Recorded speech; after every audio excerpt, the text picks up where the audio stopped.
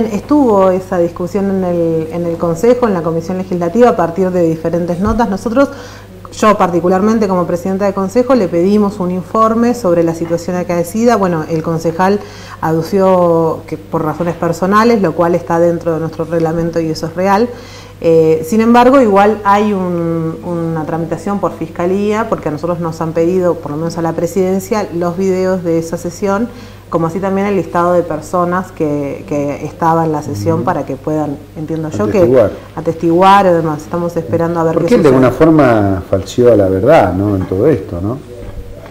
Él manifiesta que no había venido de otro lugar, que no había, que había llegado antes y que concurrió a la sesión como, como cualquiera de los otros concejales que estaban ahí y la verdad que interpelarlo en ese concepto, que su palabra, digo, es un poco difícil. Si bien hubieron algunas repreguntas en función del acta, él dice que esa acta él no la firmó, Digo, pero bueno, es un acta que, que, circuló y está en los medios de comunicación. Claro, pero aparte una cuestión reglamentaria, él tiene una entrada a Bariloche, una salida desde Neuquén, o sea que es como que, digamos, se hace un poquito, entre comillas, lo que él dice dándole una mano, porque en otros lugares se tendrían que poner más firme. Y en caso de que, que, fuera culpable, ¿qué sanción le merece a Chamatro? En principio la que disponga la fiscal que esté, el fiscal que está averiguando, que tiene que ver por la parte judicial y después a partir de eso entiendo que estará en el cuerpo, obviamente. Por ahora no hemos tenido novedades sobre esa investigación.